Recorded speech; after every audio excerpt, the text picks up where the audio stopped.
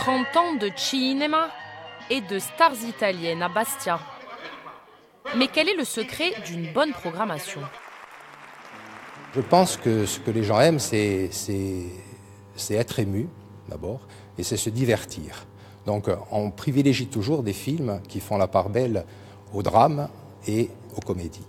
Et cette année, c'est vrai que ça a été assez difficile, parce que durant tout le premier semestre 2017, il n'y avait rien de, très bon.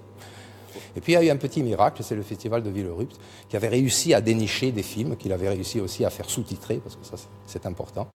Résultat, 26 films sont au programme, dont 12 en compétition. Humour.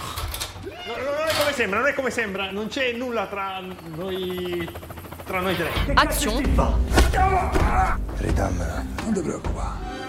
Et poésie, avec La Stoffa dei Sogni, premier entrée en piste ce dimanche, un hommage du réalisateur sarde Gianfranco Cabido à son maître Eduardo De Filippo et à Shakespeare.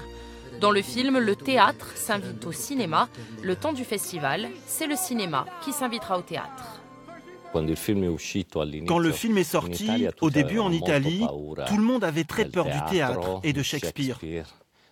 Parce que tout le monde pensait que c'était une chose très intellectuelle.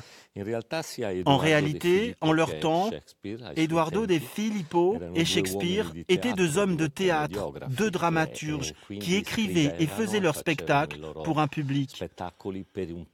Et du coup, ils sont très populaires au sens noble du terme. Qui sera primé en 2018 Réponse dimanche prochain.